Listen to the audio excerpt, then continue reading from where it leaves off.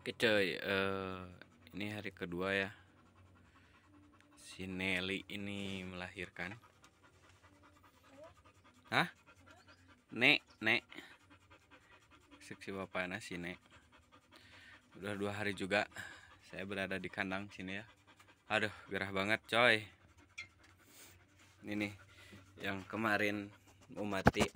Wah, kalem.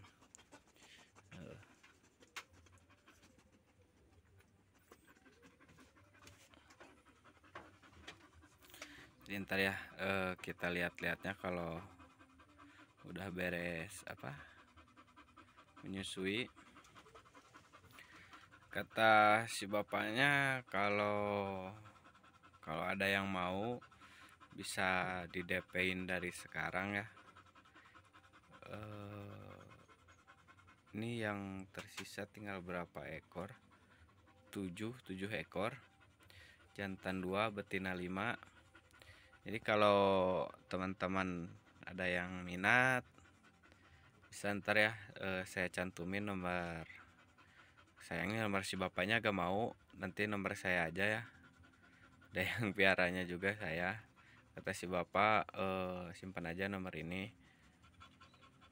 Ini contoh ibunya dan di sini itu adalah pejantannya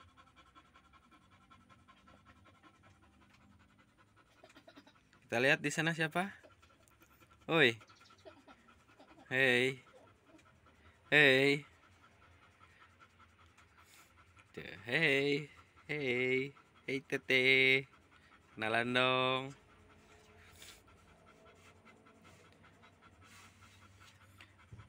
Mudah-mudahan uh, ini semua ini ya apa pada sehat-sehat.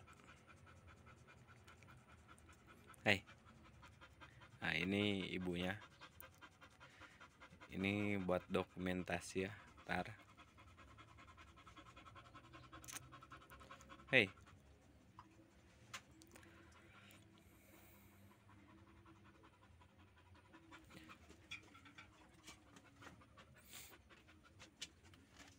serek serek. Nah sekarang udah beres. Duh, iya neng, kamu iya neng tumbuh terang nak. Si kesi kesi ini betina. Ini juga betina. Ini betina. Ini putihnya ada kayak bapaknya ya sedikit. Waduh ibunya marah coy. Mana mari tas nginum sok? Dika anakeun base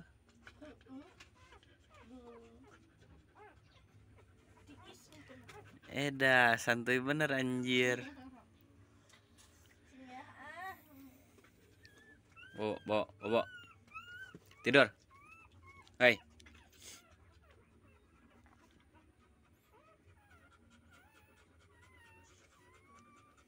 Kenapa uh, kita bantu persalinannya ya? Bukan kata orang, saya juga uh, ngalamin. Kalau anak anjing kayak gini, pertamanya tuh lemah e, mereka tuh lemah. Jadi harus di apa dideketin kita arahin buat ke apa buat ke puting susunya ya.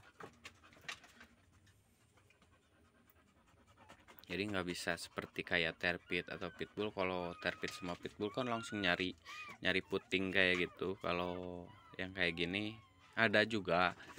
Eh neng tongki gitu neng ada juga cuman nggak apa namanya nggak nggak langsung bisa.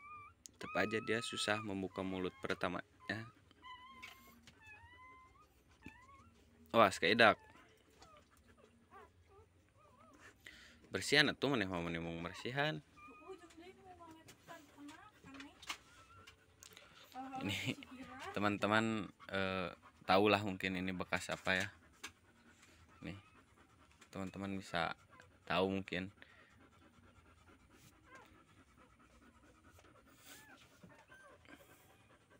telo opat tujuh mana nih yang buat favorit teman-teman hei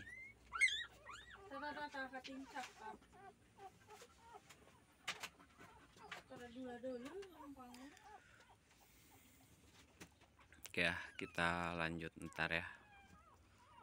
Pasti saya sering-sering upload ini.